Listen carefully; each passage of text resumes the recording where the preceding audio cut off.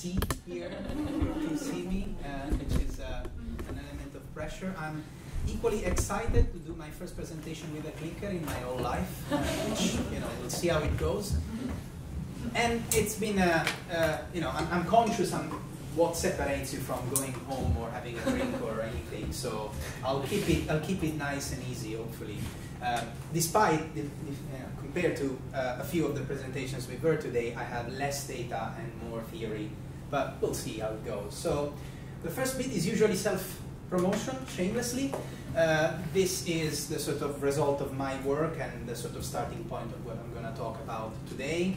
It's a, uh, it's a book that sort of tries to, to keep together these four things, like freelance work, platform work, platform economy, co-working, gig economy, and it all started uh, through my PhD work where I worked on the uh, on addressing this question. So how does knowledge work change as society becomes digital, or supposedly so?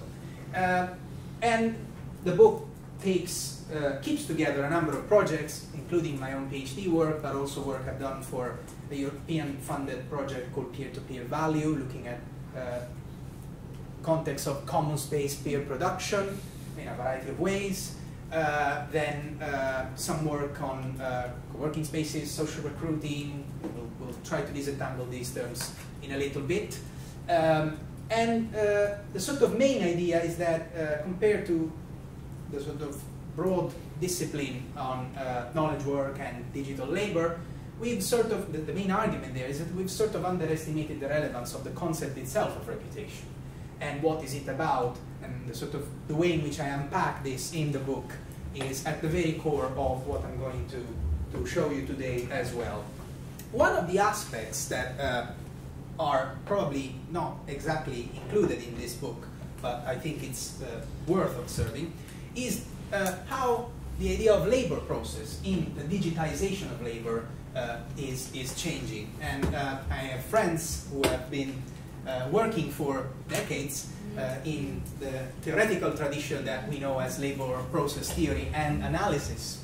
And for the, um, um, I guess most of you are familiar here with, with what we're talking about. If we're not, essentially this is a, a theoretical uh, and also empirical, of course, tradition of, of work, on the sociology, sociology of work, which emerged across the late 1970s and early 1980s to uh, this following the sort of uh, seminal publication of Harry Braverman's book, Labor and Monopoly Capital, uh, to sort of determine uh, labor as a conversion movement. So the idea is that labor, uh, labor process is what transforms the labor power of workers into a commodity or service that possesses a use or exchange value and that is going to be sold on a market.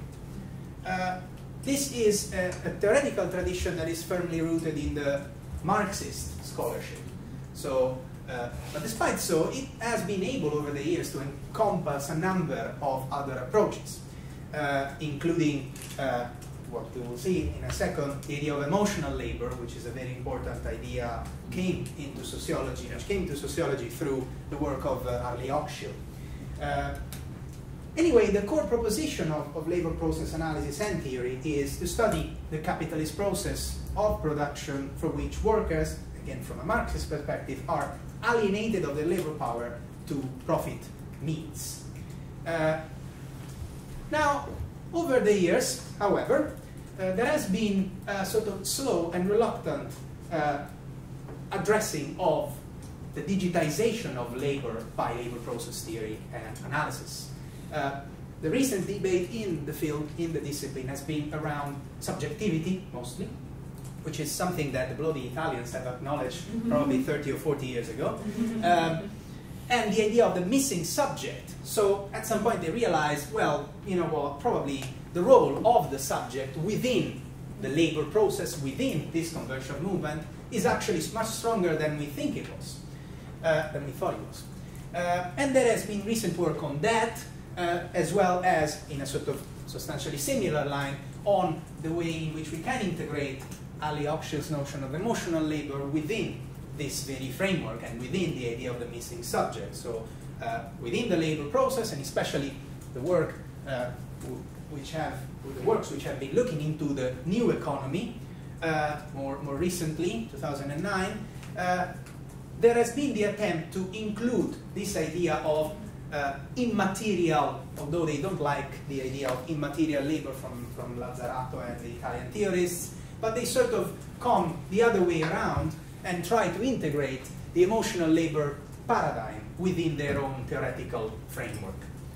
Now, I think that uh, this is not enough. So I think that the way in which labor process theory and analysis has been relevant over the 80s and the 90s for the sociology of work deserves more and deserves better than that. Especially deserves a dialogue with the idea of digital labor, uh, which is something that, uh, course, perhaps in a sort of oversimplification, I describe as a Marxist orthodox interpretation of uh, work in the digital economy.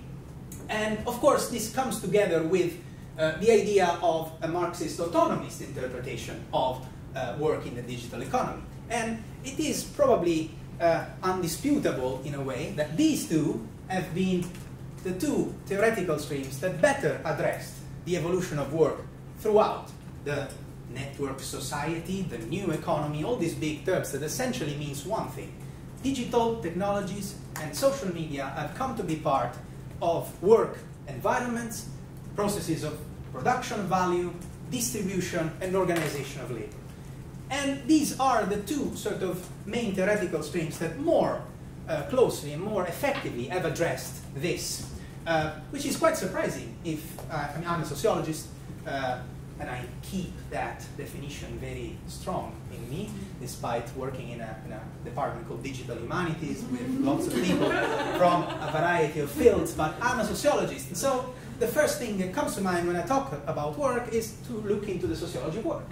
And the sociology of work has been looking uh, into a variety of things, but uh, most of them are the role of social capital within these environments. So what uh, happens when we have uh, work relations, as Antonio has explained uh, this morning, that are being uh, flexibilized, so there's less people working in the corporation or firm and more people working out of it as freelancers, collaborators, slaves, whatever you want to call it, that's much, much of the work uh, we used to call the workforce is out of the firm nowadays, and increasingly less is within the core. And uh, the of work has looked into this and essentially repeated the same argument all over. Social capital is what takes you into a job, and of course it's unfair because it brings inequalities, uh, it brings uh, networks, the good old boys networks especially, so gender is another issue, and we all know that. But uh, especially from the specific stream in the sociology of work that we know as labor process, there has been very little work on trying to understand what's going on here. The, possibly the best uh, one is uh, an edited collection by Alan McKinlay and Chris Smith, but it dates back to 2009, and we all know that since 2009, so many things have changed, and uh, many of the presentations we heard today talk about things that in 2009 didn't exist at all. So uh, that was good, that was awesome, but I think that theoretical tradition needs more. And uh, especially, as I was saying, it needs to dialogue with the idea of digital labor that Antonio has introduced to us this morning. Uh, this was thought of as a sort of uh, slide to, to sort of touch base on what's the idea of digital labor, and probably now, after your presentation, is not necessary. But the main idea here, uh, and a sort of a pinch of salt on, on you because you wanted the fight, so, uh, is that built on the idea of free and unpaid labor, uh, and that uh, I think that one of the main works in here has been the work by Tiziana Terranova, on, uh, which, which dates back to 2000, but in a way it read 20 years ahead what was going on. Uh, the idea that uh, there was a process of uh, cap value capture through digital media and increasingly from social media a few years ahead, perpetrated on users as producers of content. Uh, in a way, through the years, this debate kind of got trapped into those who were saying laborers are exploited and uh, producers of content on Facebook are uh, are to be remunerated for the work they do, a little bit like you were saying this morning. And other people that were saying, well, this is, of course, in, in the ideal world, this would be fantastic, but it's not realistic in actual terms. There's a fantastic uh, uh, article exchange between uh, uh, Christian Fuchs, who was echoed this morning, and my, my professional mentor, Adam Arvidsson, who didn't really like each other over the course of the years through that. I'm sort of, just to be clear, taking a step down from that and looking at this objectively. And my reading is that but while we were uh, debating all this, which of course is great in an academic point of view, we were missing the point. The point was things were changing already over the course of the time. And in fact, if we go back and look at what labor process analysis and theory actually are about, we could learn a lot to go and pick from that debate and move on and actually be uh, critical in a uh, comprehensive way of the various process that uh, put workers at risks in many ways and sort of extend the appropriation of capital in uh, the worker's life and time, which is what we are talking about here. Digital technologies as a whole, again, there's a whole literature on that from many angles, but really the bottom line here is that digital technologies as a whole allow more appropriation in exchange of less. So more time devoted to work in exchange of less payment. Whatever payment is that. Can be little, can be none, you know, many cases, uh, but it, there's the sort of trade-off and in place because uh, most of the workers involved into processes of digital media, most social media users, even whether we call them workers or not, do it because they like doing it. And that's a big problem. Uh, but then uh, we have the fact that this theoretical stream um, has a few uh, elements that allow us perhaps to understand more and better what's going on. And there's people who have argued this repeatedly and they've been repeatedly unheard, like Armin Beverungen, I hope this is the right pronunciation, or Chris Land here. Uh, they were saying essentially, if we look through the eyes of labor process theory and analysis to the actual new economy, they still call it the new economy, it's no longer new, uh, we can actually learn uh, a little bit more. But, as especially Stefan Baum and Chris Land were saying, this needs update. So we need to actually extend the understanding of labor process theory and analysis as such in order to give this theoretical perspective the possibility to understand the very same logics. Now I propose three aspects to look into this uh, as, a, as a way of changing or actually evolving and building on top of a, of a very successful and very important theoretical perspective. Uh, one of the sort of premises of labor process and analysis is uh, the idea of uh, a point of production where this conversion movement takes place.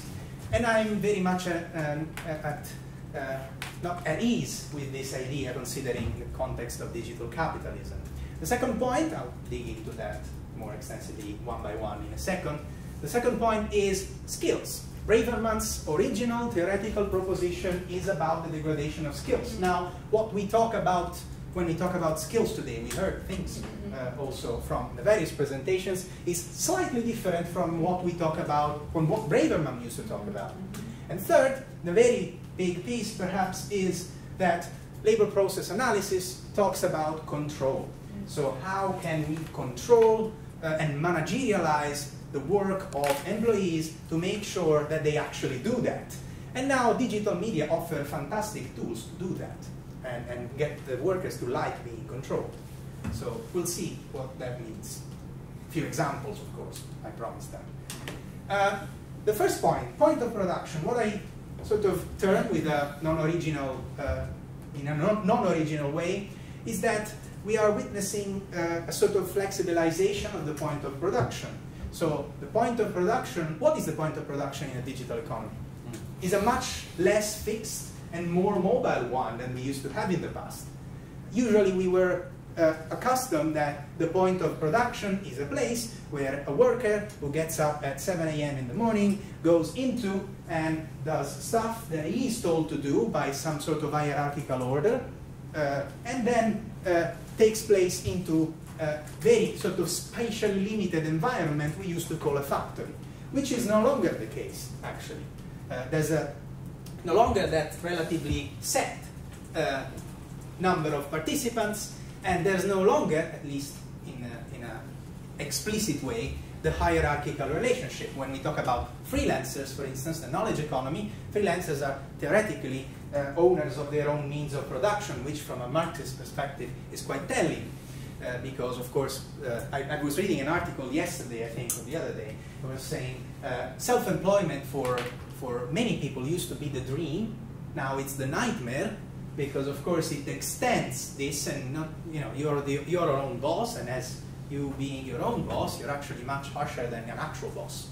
Uh, so we have non-standard employment relationships. Antonio touched base on that this morning. It's large, the gig economy is largely what we used to call a project-based economy, freelance economy. There's people out of the core of, uh, out of the core uh, structure of uh, a firm organization up the, and, it's no longer a, a, sort of alternative or niche thing if we think about that uh, in, well this is 2015 actually, uh, in 2015 the first editorial from The Economist was a sort of semi-hailing, semi-worried uh, writing on the on-demand economy and how this makes workers on tap, available on tap. So uh, I remember Richard Stallman, we spoke about Richard Stallman before, he used to say free as in free speech, not as in free beer. I think that a metaphor of beer comes back as a sort of reassuring aspect here, because at some point we will have one. And, and we care about so where, where is the point of production? One of the points of production in the digital economy is co-working spaces. Now, we have seen a few here in this building too, which of course have an educational purpose and, and they're you know, very much welcome in, in many ways. But for the actual outside world, co-working spaces mean uh, something that is slightly different from the beauties around here. So co-working spaces are places that freelancers go to hire a desk and spend their day uh, for their own uh, like Wi-Fi, especially Wi-Fi connection. Uh, the idea that they bring uh, options and possibilities for collaboration. They uh, sort of take out the alienation of working from home, which used to be a problem that a lot of literature has highlighted as a big one in, uh, in the sort of transition to post-Fordism and digital capitalism. Eh, but the problem is that the, the same literature kind of uh, frames uh, co-working spaces as third places. Third places are places that are not the home nor the work, neither the home nor the work. Actually, these are workplaces for them. These are workplaces that actually entail a double dimension. So one that actually entails social capital, so relation, relationships with people, uh, and a second dimension that is digital, so people go there because they have a Wi-Fi and they can manage their Twitter feed, they can maintain their website, they can uh, entertain connections on LinkedIn and, and then uh, host people for meetings because there's a space you can go and do that. So that's an actual point of production of value at least for these people. And it's a very particular one because it's one where there's no boss telling you what to do. There's a host where you, of course, pay a fee too uh, for, for uh, being there, but then it's up to you. But then it's there for uh, uh, the worker to be entrepreneurial, and that should ring a bell. Then we have something we've seen also a little bit, online labor markets uh, that are, well, this is a little bit tortuous, so I'm, I'm actually curious to see what people think about this in a way, we could see online labor markets as points of production. At least at the very bottom line of a production of value, because of course there's a clear value creation process in place within places like Upwork. Uh, these are the last data I could find available. There's a few uh, more that I couldn't include in the slide. But the main idea is that it used to be mainstream. It used to be like niche market, around 10%. Now it's increasing. Uh, in various places in the West, particularly, as an option. This work here uh, is is called the Freelancing in America. It's a big survey uh, that apparently argues that there are around 50 million freelance workers or people engaged in freelance gigs in 2015. There's a typology in that which I really uh, wish you could, well, I really encourage you to go and look into.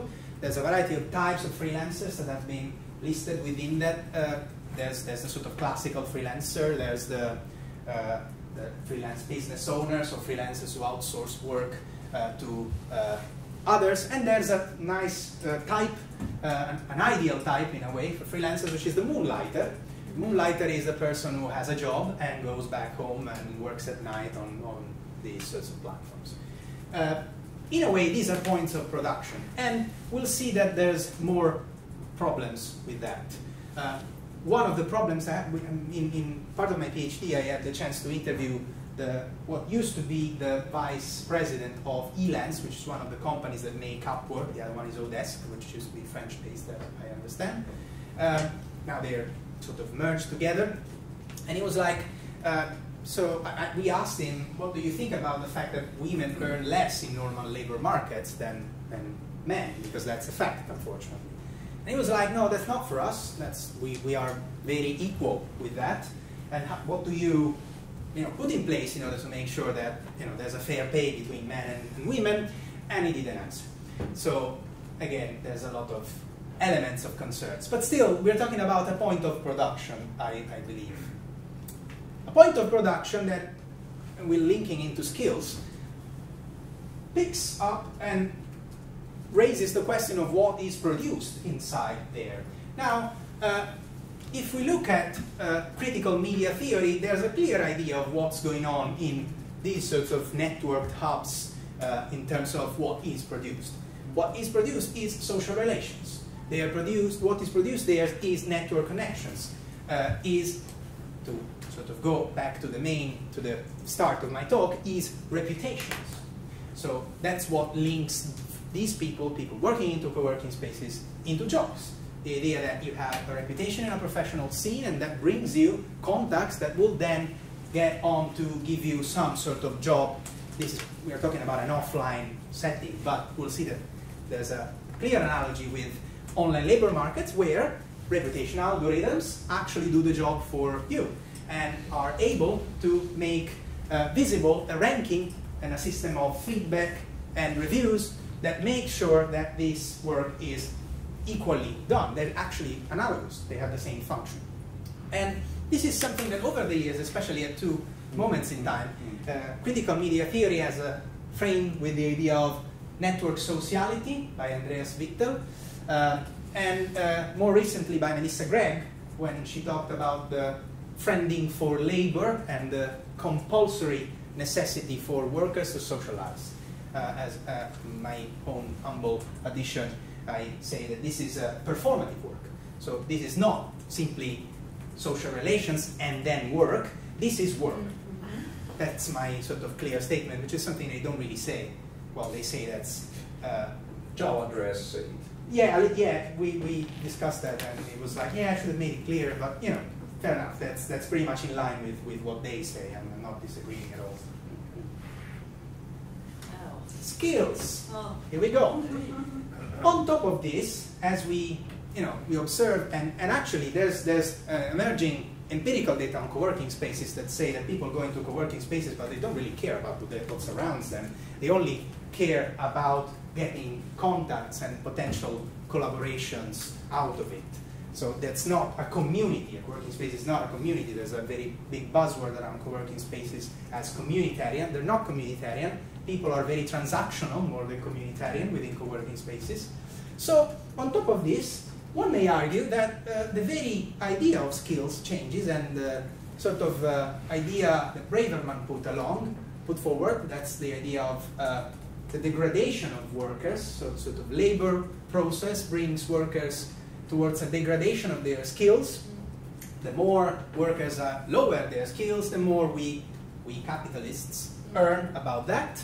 But actually, that's no longer the case in many contexts. I mean, knowledge economies, media industries, digital workers operate in labor markets that reifies the, the upskilling of workers. So if you go and uh, uh, talk about uh, that with employers, what, what do we want from a graduate? They want this, this, and that. They want highly skilled graduates. Those who enter the job market, look at the data from the UK. I, that's the one I know a little bit better from this year from the Department of Creative Industries and uh, something else. Uh, they say that, uh, oh dear, uh, they say that uh, essentially there's a, a clear uh, necessity of highly skilled workers, this means that workers, the, the, the, job market is flat, they're all highly skilled. So the main skill for them is getting contacts. Networking is their main and probably only skill.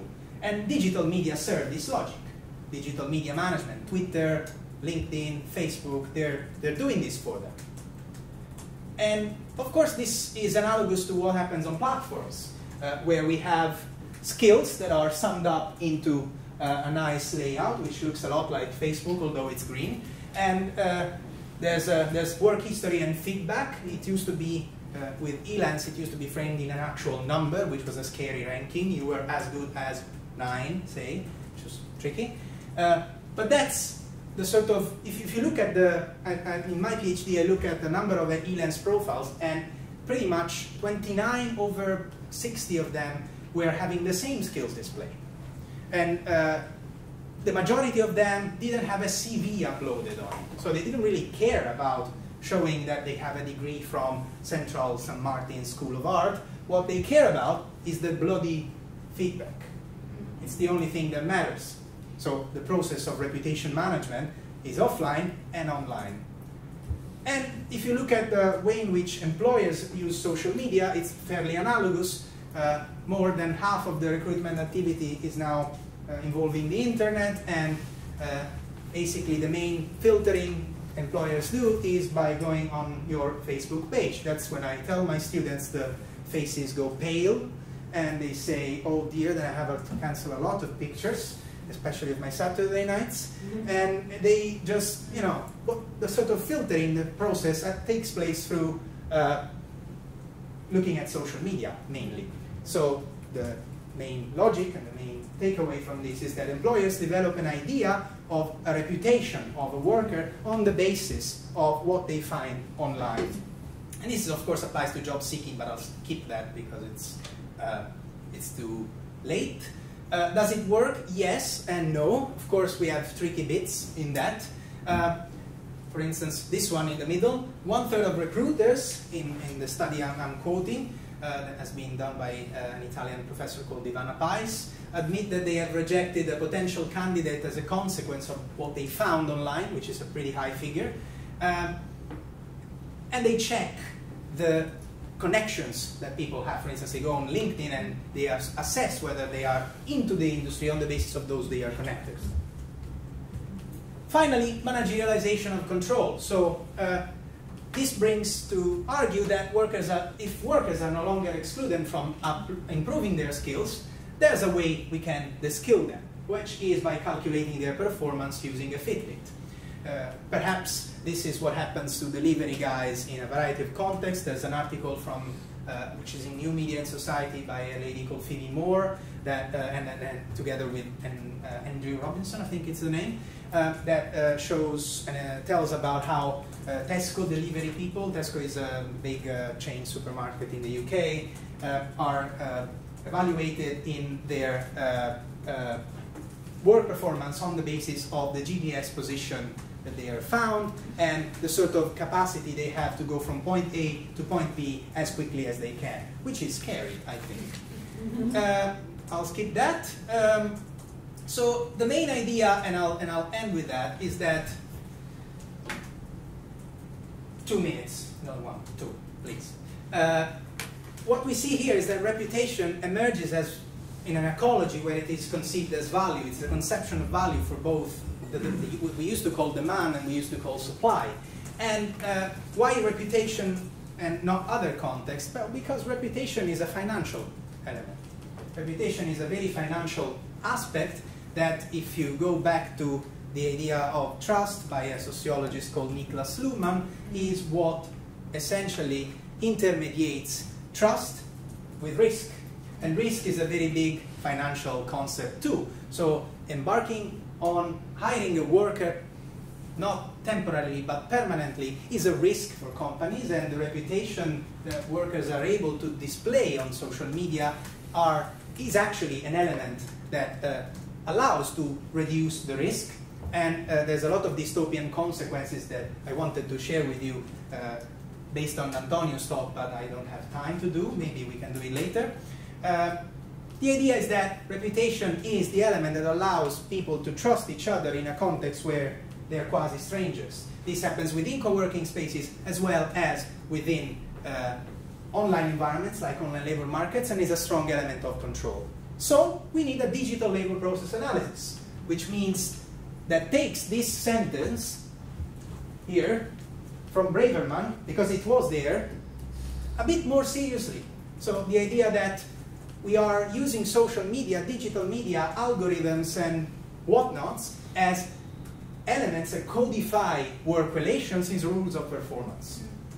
And probably these guys have something to say, the labor process literature has something to say that has not yet been said about this, and sort of put, could perhaps be the meeting place between those who have thought a lot over the last decades about whether digital labor as exploitation is actually something like we should pay workers and Facebook content producers or it is unrealistic.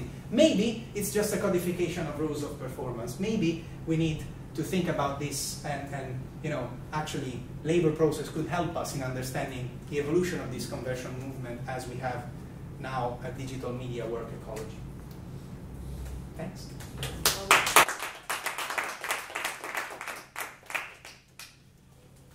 Sorry, I was slightly longer. No, no, no, thank you very much. Questions? Uh, I have one. Would you like to start? Oh, please, please. I, um, thank you very much for your presentation. I, I share your opinion about uh, how the labor process, that the labor process theory can help us better understand uh, the thing. But uh, at some point of your presentation, I was wondering whether you speak about digital labor or knowledge work.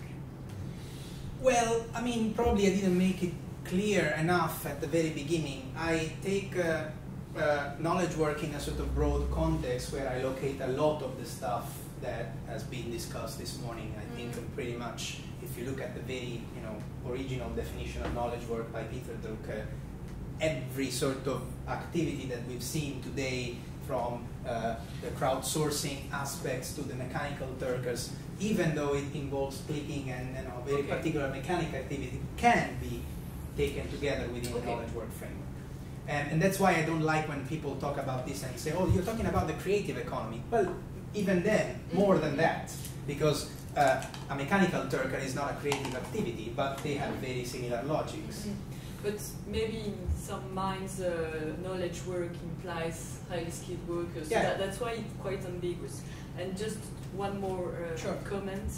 Uh, when you talk about the point of production, um, I was surprised that you don't generalize the thing that, for me, the point of production is more the platform, which is with the algorithm, more than the co-working spaces. So um, maybe I'm wrong, but that was my thought about this way of. Yeah, the, well, the idea again, probably I explained it uh, in a in a relatively quick way, so that wasn't clear enough. So the idea is to again try and draw an analogy. There's a lot of people, for instance, coming from the digital media world that say, you know, the online and then the offline, and sort of implying that the online is not real and it's virtual, and the offline is not.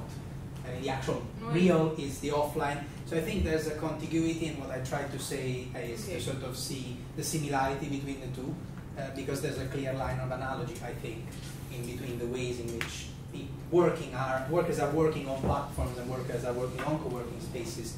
Uh, I can it can, can be longer than that, but I'm, I'm, not sure if that's appropriate. But the main idea, in a, in a nutshell, is that a co-working space is a platform, is a coordinator, is a place where you go and you have social relationships at place and tasks take place in a similar way, but it's physical.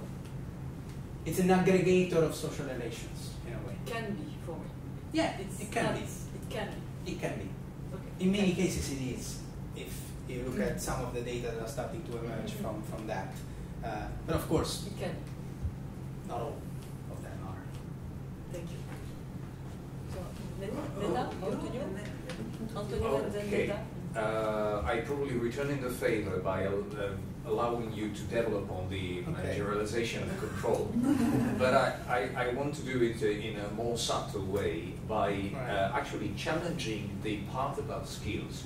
And I, uh, I, I, just want to say from the beginning uh, that I have very mixed feelings myself about the hypothesis of de-skilling.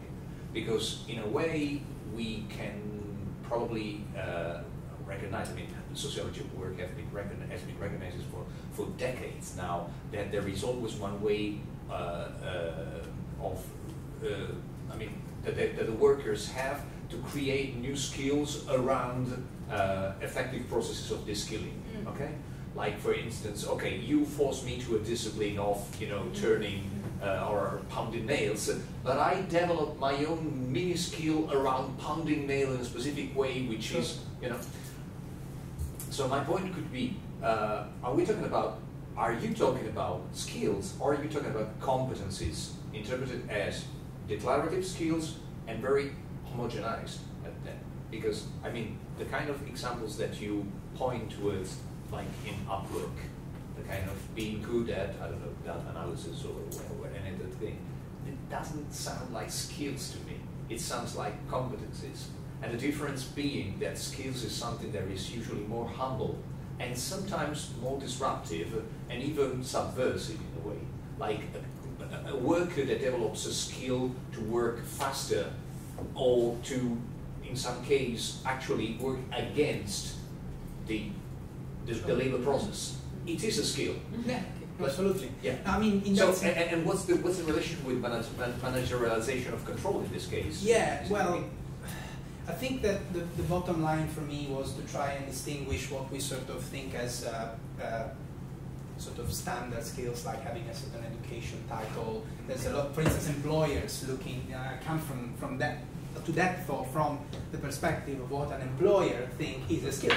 And a skill for an employer is having a certain education title. An highly skilled worker is generally a graduate who can manage different computer programs, for instance. So that was a sort of probably naive way of approaching the term skill and sort of distinguishing, on the one hand, highly skilled from low skilled occupations, uh, and on the other hand, the sort of hard versus soft skills. Uh, and uh, because one of the sort of implicits in there is that we always thought uh, of networking as a soft skill. In fact, is very much a tangible one nowadays because we go on LinkedIn and we see the connections. So it's visible, it's tangible. Uh, but I can see that's a, that's, a, that's a point I can explain better perhaps in the written format and thanks for that. I'll, I'll take it on board because uh, the, main, the main point actually links to the idea of control is that uh, when you go and do, the, for instance, the example of the filtering through the CVs uh, in, a, in, a, job application that recruiters do by going online, that's an element of control, I think, because it's a preventive sort of, you, you, you know, even before you get into the job, mm. you are sort of subjected to forms of control because you think, no, I'm gonna, I'm not gonna post this picture of uh, Donald Trump on Twitter because I'm, I'm gonna look crazy as is. But is this qualitatively different than being screened on at an interview? Sorry, say again. How is that qualitatively different from being screened at an interview? The what what um, I spoke to this about this with a recruiter, and he says that basically it's uh, uh, quicker because it gives the chance to sort of screen faster and get rid of the spam. No, I see that it's practically different, and probably it's a very good strategy to use because I'm sure for them, for sure, I'm sure pictures do predict uh, something, um, but probably in a, in, a, in a deep level, no, there's no big difference. In a way, if in a way it's sort of the point here being is that it sort of puts the pressure even before you actually do the application. Mm. It gives it it subjects you to the logics of uh, a management of an online image that is suitable for an employer and not because you like posting a, cat, a picture of a cat or well maybe Donald Trump you shouldn't do it but uh, you know it's not your own personal decision on how you subject your own choices to social media. It's actually in the back of your mind an element of control that says no I'm not gonna put this up because then if some employer will find it then he's gonna or she's gonna delete my the reputation management has been going on I guess for decades, way yeah. before the internet. Yeah. So that's what I'm saying.